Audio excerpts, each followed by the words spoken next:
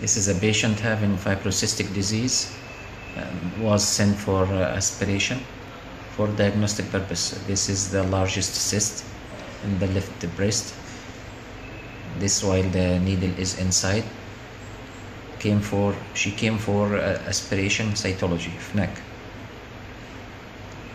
This is the needle inside, and this is after complete drainage and aspiration.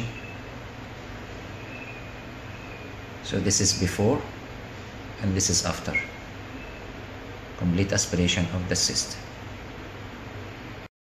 This is a patient having fibrocystic disease, was sent for uh, aspiration for diagnostic purpose. This is the largest cyst in the left breast. This while the needle is inside. Came for she came for uh, aspiration cytology of neck. This is the needle inside, and this is after complete drainage and aspiration.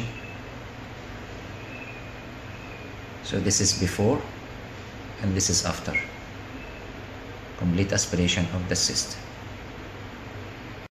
This is a patient having fibrocystic disease, was sent for uh, aspiration for diagnostic purpose. This is the largest cyst in the left breast. This while the needle is inside. Came for she came for uh, aspiration cytology of neck. This is the needle inside, and this is after complete drainage and aspiration. So this is before, and this is after complete aspiration of the cyst.